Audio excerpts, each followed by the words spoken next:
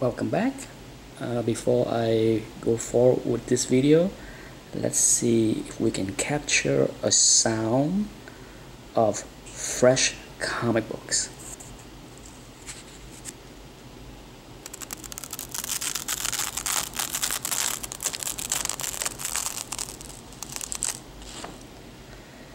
If you are lucky enough to start collecting comic books in the early 80s, late 70s, even mid 70s, that is a sound of a fresh comic books. I love hearing that sound.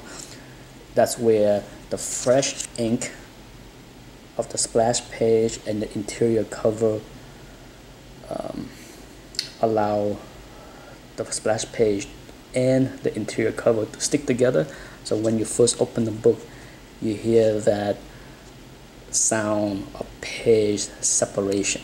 I love that. Um, long ago when I had a chance to bought a big to buy a big uh, collection of Bronze book I was lucky enough to got a ton of Red Sonja book. And I have sent so many. I kept a few duplicates to enjoy.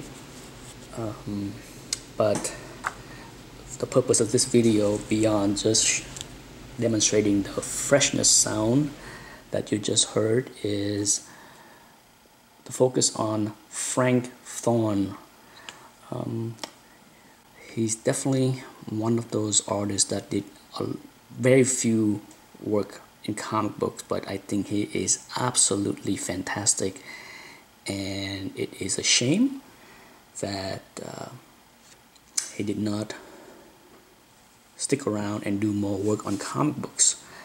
Uh, here is number one Marvel feature.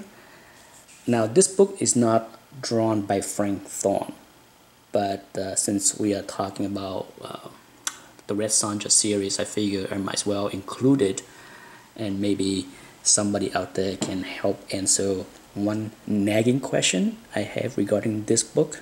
So here's my beautiful Marvel feature number one.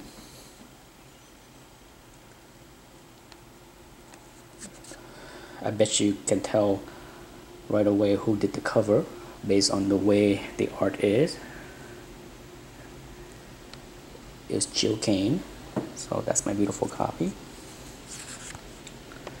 Inside as you can see the first half of the book there's a story that is drawn by Dick Giordano okay? And then the one that I would like someone to help me with if anyone out there that watched this video know the answer is I would like to know who drew the second part the second story because I can tell you. So this is as you can see the end of the first um, half of the book.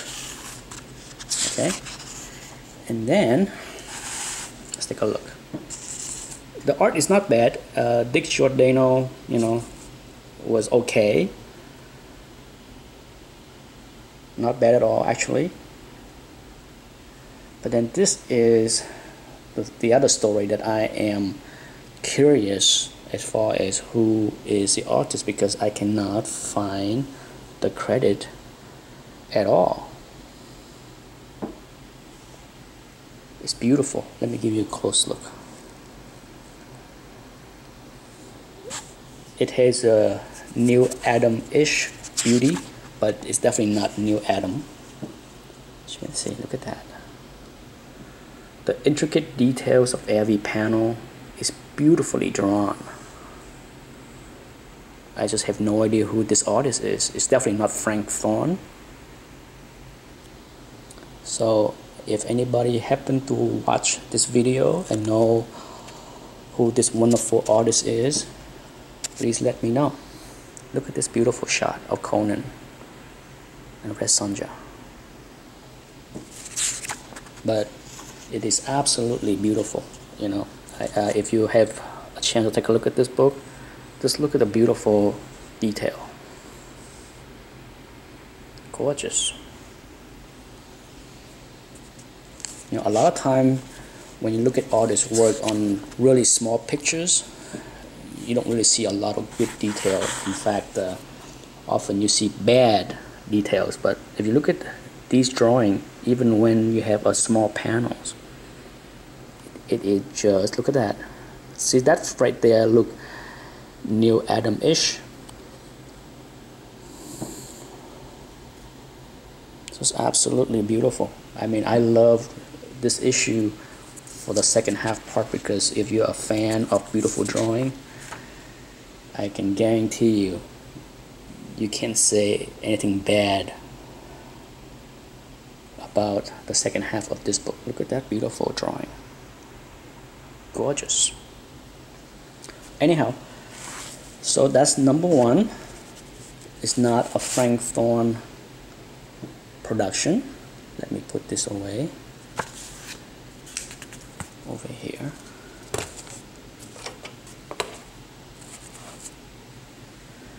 So Frank took over from number two, and here's my number two, as you can see. One thing for sure, if I had to describe Frank Thorne's style, he remind me a lot of Joe Kubert when it comes down to drawing style. I would not say that he copied Joe Kubert's style. You know that that wouldn't be fair. But he remind his style remind me of Joe Kubert with one exception. He draw women much better than Joe can. Okay, if you look at the way he drew Red Sonja, you and and if you are familiar with Joe Kubert, you probably will agree with me that he can draw women much more sexy and beautiful compared to Joe. Joe is great, make no mistake. I love Joe, but I don't think Joe is ever that good at drawing beautiful women. Nothing wrong with that, but so take a look at this one. So this is Frank, as you can see. Uh, on some of this issue, Frank Thorne also did uh, all three all three duties as far as drawing, inking, as well as coloring. Okay, so look at that beautiful drawing, gorgeous. So he's very talented, and it's no doubt, you know, if you have this kind of drawing style, it's not easy for other people to ink you. You know, just like Joe Kubert. I'm sure Joe Kubert is not that easy to ink, and um, it's not, you know, it won't be easy to find people that would mesh well with his style. So Frank, you know, he did his own inking in everything that he did, but it's beautiful. It doesn't hurt that on every page you have a lot of the color red because you know her hair is red her lips is always red. So you have a lot of vibrant colors. Look at that are just so many wonderful drawing as you can see that's a beautiful drawing right there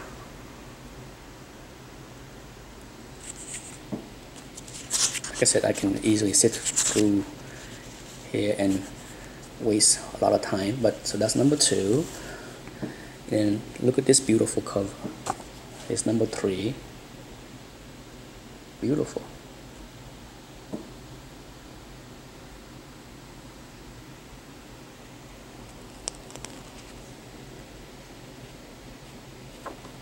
Once again, he did uh, his own inking.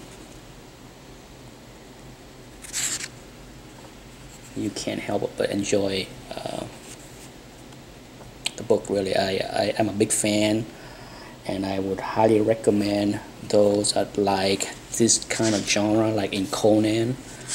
I think uh, you know you definitely will enjoy the Red Sonja series I have not looked at the, the recent series but uh, for sure I have seen a lot of beautiful covers uh, in the newer stuff. Very sexy, beautifully drawn Red. Perhaps my favorite Marvel feature that Frank Thorne drew as far as cover is this one here. Number four. Look at this. Absolutely beautiful.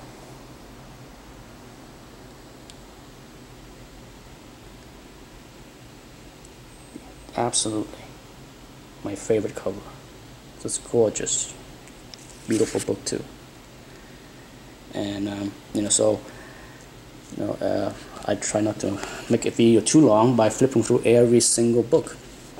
So uh, here's my other copy that I demonstrate the sound of fresh comic books. And real quickly here's number five like I said it's it helped that her hair is red. So you know the cover is always very vibrant. And it's always uh, showcase her wielding her sword as you can see. Absolutely beautiful. Let's look at number six. Very sexy pose right there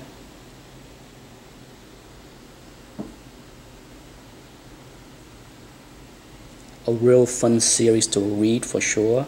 And these are fairly inexpensive. Um, you know you can get you know the whole thing from one to seven in high grade and you know pay maybe even not even 50 bucks. So they're not uh, outrageous as far as price. And last but not least is number seven where you have her fighting with Conan and it's with all the other covers Frank always have her in um, an action shot. Beautiful. But so that's my 1 through 7 of Marvel feature with uh, Red Sonja. Beautiful book.